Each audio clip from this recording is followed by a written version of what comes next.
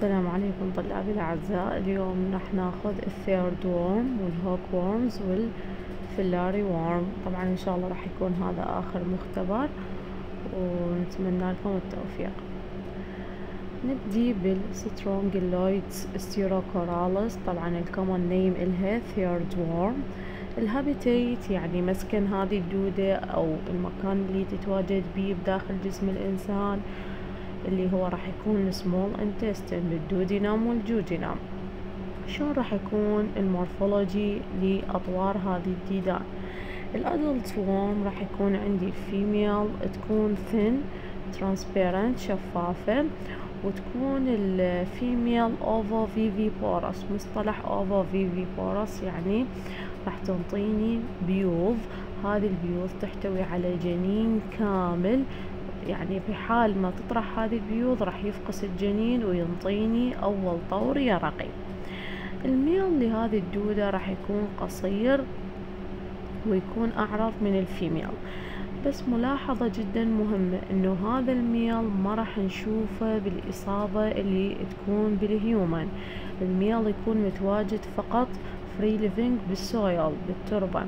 ما يتواجد آه، بحالة ال infection للإنسان لأنه هو ما عنده قابلية على الاختراق ففقط هي ال female اللي راح تسبب إصابة وراح تتواجد بداخل جسم الإنسان.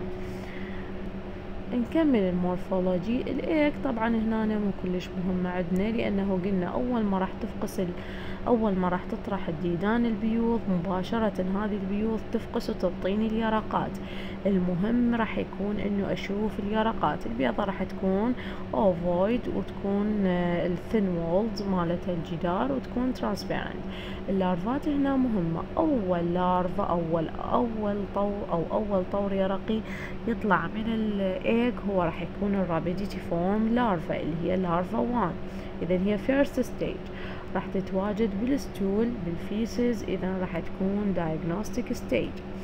بعدها راح يكون عندي ال filariform larva هذا ال filariform larva اللي هو larva 3 نتج من إنه ال larva 1 صار عليها molt twi- molt twice يعني انسلخت مرتين انطتني ال larva 1 انسلخت انطتني larva 2 وال larva 2 انسلخت انطتني ال larva 3 اذا هذا ال larva 3 هو راح يكون ال infective stage وراح يكون long and slender متطاول ونحيف. ال life cycle لهذه الدودة طبعا اللي راح يكون ال natural host لهذه الدودة هو ال human آه راح يكون المضيف الأساسي لهذه الدودة طبعا آه راح يخترقها. منو راح يسبب إصابة لل human راح يكون عندنا قلنا ال filariform larva راح تكون عنده قابلية أن يخترق الجلد. الجلد طبعا جلد الإنسان مو شرط أنه يكون جلد مجروح لا هي عندها قابلية أن تخترق الجلد. الجلد حتى لو كان سليم. مجرد أنه الشخص ما آه لابس آه حذاء أو لزم آه يعني التربة بدون أن يلبس gloves راح يؤدي هذا إلى أنه احتمال إنه ال filariform larva تخترق الجلد. من راح تخترق الجلد هذا الطور المعدي راح يروح عن طريق مجرى الدم للرئة.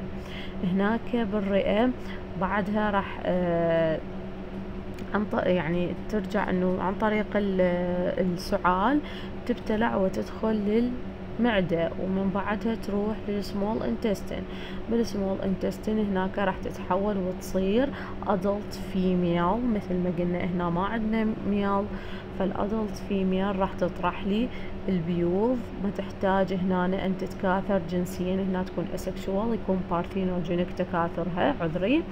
راح تطرح لي البيوض. هذه البيوض تفقس وتنطيني ال rhabditiform larva هذه ال rhabditiform larva محتمل أن تسوي لي آه أن تسوي لي آه إعادة إصابة. يعني هاي ال rhabditiform larva ترجع تخترق جدار الأمعاء وتروح للرئة وأيضا عن طريق مجرى الدم تروح للرئة وأيضا ترجع تبتلع وتدخل للمعدة وللأمعاء إذا هذه الطريقة تسمى طريقة الإصابة بال auto infection. فإذا عندنا mode of of transmission راح يكون إما عن طريق ال penetration لل skin أو عن طريق ال auto infection بواسطة ال rhabditiform larva طبعا ال rhabditiform larva قلنا أيضا راح نشوفها بال stool وراح تكون هي ال diagnostic stage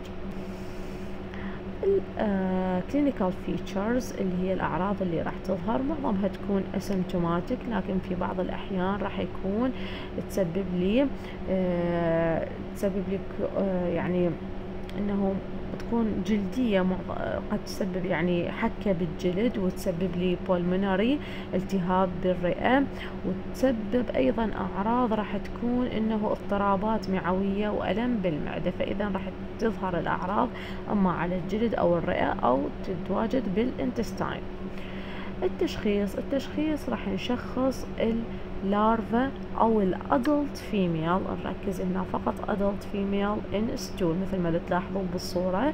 الأسفل اللي عليه سهم هو هذا ال adult female واللي تحتها هي راح تكون ال rhabditiform larva اللي هي الطور التشخيصي.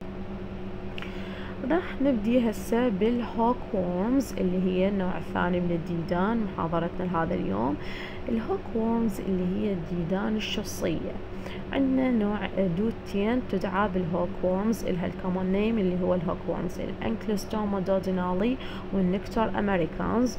هذولا هما يدعون بال hookworms الديدان الشصية سميت بالديدان الشصية لأنه مقدمتها آه تشبه الشص اللي هو آه يستخدم بصيد الأسماك. طبعا ال Ancylostoma duodenale تدعى بال old world hookworm هذا ال common name إلها. بينما ال Necator americanus تدعى بال new world hookworm ال habitat لهذول الديدان راح يكون هو ال small intestine طبعا سبب ال Ancylostoma شكلها أو مقدمة ال Ancylostoma duodenale راح تكون معقوفة bent dorsally in the same direction of the body curvature. راح تكون معقوفة نحو الجهة الخلفية بنفس جهة بنفس اتجاه انحناء الجسم فمن جتي تسميتها بال hookworm هذا راح يساعدها كلش على أن تغرس أسنانها بالسمول intestine. راح تمتلك طبعا well developed mouth تحتوي على فم مطور بصورة جيدة يحتوي على two pairs of teeth. مثل ما تلاحظون بالصورة اللي أعلى الشاشة فوق ال Ancylostoma هي هاي ال buccal cavity مالتها يعني التجويف الفموي. إنه نلاحظ هو مزود بزوجين من الأسنان يعني أربعة أسنان تحتوي. ال posterior end بينما ملاحظة بينما ال Necator americanus ما عندها أسنان عندها صفائح. بس أني ما ذاكرت لكم اياها مثل ما تلاحظون بأعلى الصورة فوق ال Necator americanus إنه ما عندها أسنان عندها صفيحتين بال buccal cavity طبعا النهاية الخلفية لل male تكون مزودة بال copulatory bursa اللي هي غدد تساعدها أو تركيب يساعدها على التزاوج. ال female راح تكون longer than male أطول من ال male ونهايتها تكون tapering end نهايتها ممشوقة. الإيج هنا مهم جدا أن نميزه لأنه هو راح يكون طور تشخيصي الايج هنا راح تكون oval colorless عديمة اللون تحتوي على segmented ovum مثل ما تلاحظون هاي البيضة أمامكم إنه شفافة بها مثل الدعابل مقسمة. هي هاي segmented ovum كل ovum بداخلها four blastomeres ال life cycle طبعا ال natural host هو راح يكون ال human آه راح ينصاب بواسطة ال infective form اللي هو أيضا راح يكون هنا ال filariform. راح يصيب ال human عن طريق الجلد أيضا يخترقه إلى قابلية أن يخترق الجلد. وأيضا راح تهاجر ال filariform larva إلى عن طريق مجرى الدم إلى الرئة. وأيضا راح تسوي لي تطلع بالسعال وترجع تبتلع. وتدخل إلى الأمعاء. وأيضا راح تتواجد قلنا بال small intestine هنا راح يكون عندي male و female راح يتزاوجون راح يعطوني بيوض البيوض راح تنطرح بال stool طبعا قلنا طريقة الدخول عن طريق جلد. الأعراض راح تكون عندي هنا ground itch حكة ناتجة عن اختراق ال filariform larva للجلد آه، pneumonia التهاب بالرئة dimorphic anemia. طبعا هنا جدا مهم إنه هاي الدودة قلنا عندها أسنان وراح تسبب بتهشم ال small intestine فتسوي bleeding ال stool راح يكون لونه طبعا هي بما إنه متواجدة بال small intestine فالدم عن ما راح يطلع بال stool راح يكون لونه dark يعني أسود. فالدم ال stool راح يكون لونه صفة تشخيصية أيضا مهمة إنه ال stool نشوف لونه أسود لأنه يحتوي على كمية كبيرة من الدم إذا كانت الإصابة هذي وإذا كانت الإصابة قليلة ممكن أن نسوي تحليل ال occult blood نشخص الدم الخفي اللي موجود بداخل ال stool آه، فإذا راح يكون عندي dimorphic anemia anemia ناتجة عن النزف وناتجة أيضا عن وجود الدودة اللي يمنع امتصاص الحديد. وراح تسوي epigastric pain لأن هي موجودة بال small intestine فراح يكون الألم في أعلى المعدة آه، في epigastric يعني إنه يشبه بأعلى المعدة.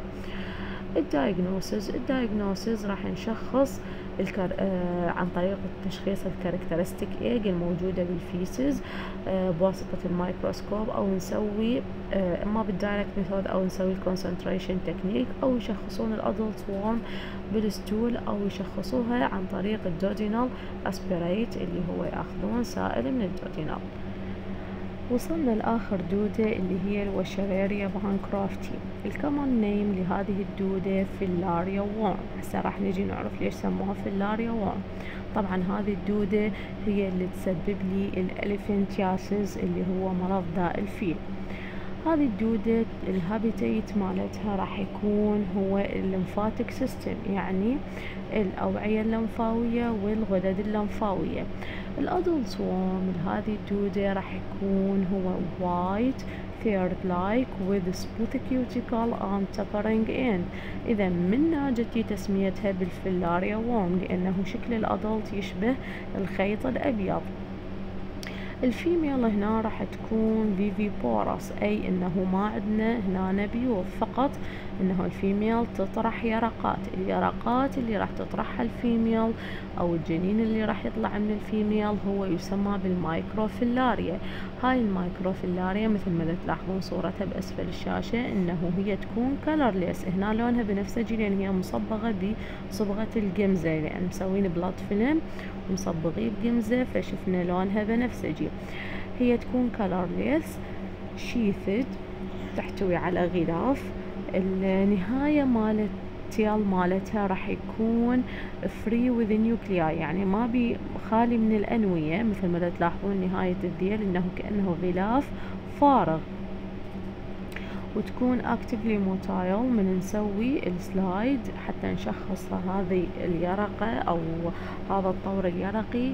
آه، أو نشخص الإصابة بال Wuchereria bancrofti راح نشوف حركة ال microfilaria بصورة واضحة. ال microfilaria راح تتواجد بالدم. أنا شو وقت أقدر أشخص ال microfilaria؟ إذا شخص شاك بي أنه هو مصاب بال Wuchereria bancrofti لازم أكون أنه أسحب من عنده دم بالفترة الليلية اللي هو nocturnal periodicity من 10 PM to 4 AM يعني من العشرة مساء للرابعة صباحا راح نشخص ال microfilaria بالدم. حتى نقول هذا الشخص مصاب بال Wuchereria bancrofti. إذا هي ال diagnostic stage راح تكون لهذه الدودة دورة الحياة لل Wuchereria bancrofti راح يكون المضيف النهائي هو الإنسان والمضيف الوسطي هي ال mosquito اللي تكون من جنس ال Culex طبعا بداخل المضيف النهائي ما راح تصير تطور لليرقات اليرقات راح تتطور بداخل ال mosquito ال first stage ال microfilaria اللي هي كانت بالإنسان راح تاخذها الحشرة وتتطور إلى third stage اللي هي filariform وراح ترجع الحشرة الأمراضية الأمراضية شلون الطفيلي راح يخلي الأعراض تظهر علينا؟ إنه هذا الطفيلي ال adult worm راح تغلق الأوعية اللمفاوية. راح تسد الأوعية اللمفاوية وتمنع صعود اللمف من أسفل الجسم. فراح يتجمع اللمف بأسفل الجسم بالأخص بالقدم. آه، فراح تظهر القدم آه، يعني الساق والقدم تشبه ساق الفيل آه، تتضخم وراح تظهر عليها تشققات حتى الجلد يشبه يكون شبيه بجلد الفيل.